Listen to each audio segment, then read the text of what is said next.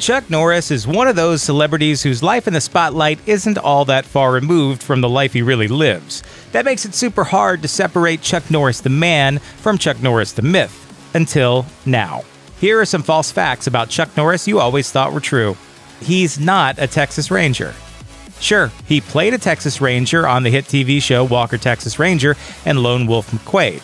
But you probably didn't know that he's an actual Texas Ranger in real life. True, unlike his characters, Norris has probably never actually stopped a gunfight by driving a buried truck out of the ground.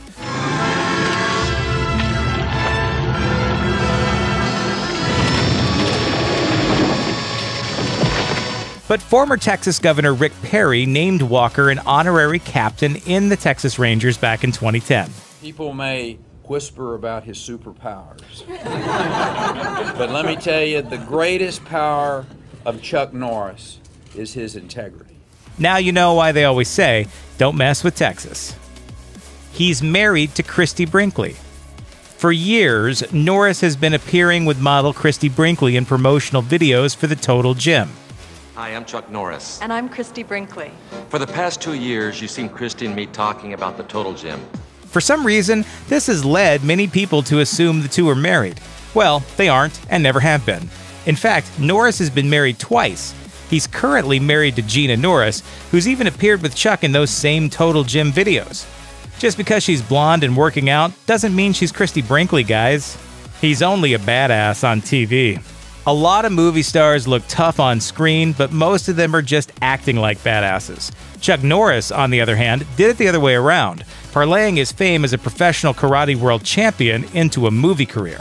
According to Norris, he was the six time undefeated world professional middleweight karate champion starting in 1968, which eventually led to his breakthrough film role opposite fellow martial arts legend Bruce Lee.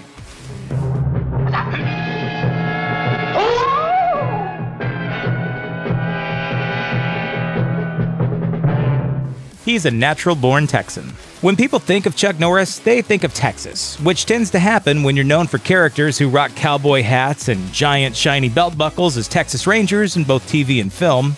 So there's a wide demographic of folks who naturally assume he's from the Lone Star State. But Norris hasn't always been a Texan. In fact, the man the world knows as Chuck Norris was actually born Carlos Ray Norris on March 10, 1940, in Ryan, Oklahoma but Norris has since moved south of the border and now resides on a ranch near Houston. Sorry, Sooners. He's a natural born athlete. You might assume someone as accomplished as Norris was just naturally gifted, but according to Norris, he's a self made man who became a legend through hard work. He told the New York Times that in school, he was bullied because his father was Cherokee. There were taunts by kids about being a half breed. I had very low self esteem and I used to daydream about being strong and being able to handle myself, to beat up the bullies. After high school, though, he joined the military and was sent to Korea, where he began studying Tang Soo Do and Taekwondo, building up his mind and body to the point where nobody would ever be able to bully him again. He's all brawn and no brain. Yeah, he's tough. That's what made him famous.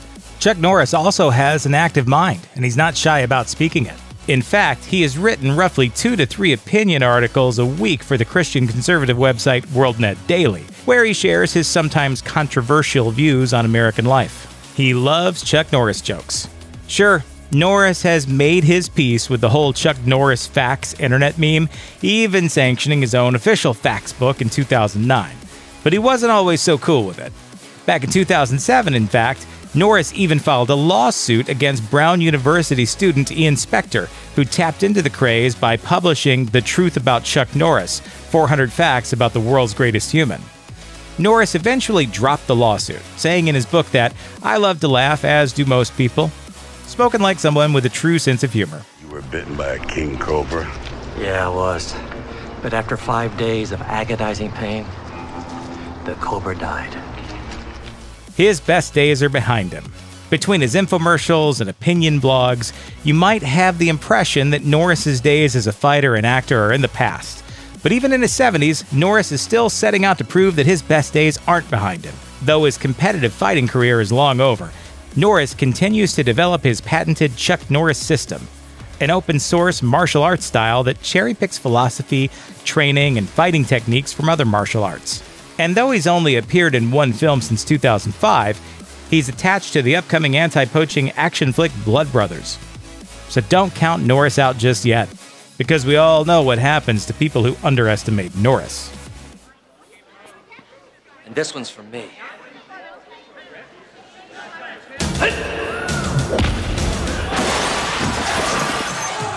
Thanks for watching. Click the grunge icon to subscribe to our YouTube channel. Plus, check out all this cool stuff we know you'll love too.